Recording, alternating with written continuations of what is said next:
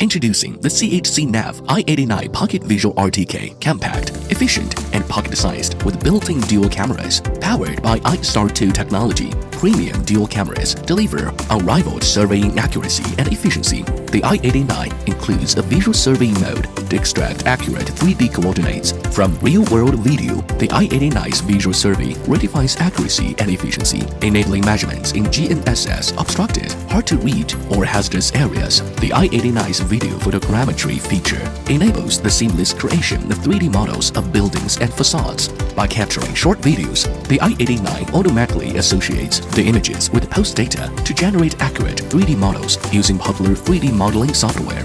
With its Auto IMU, the i89 ensures accurate measurements without the need for manual initialization.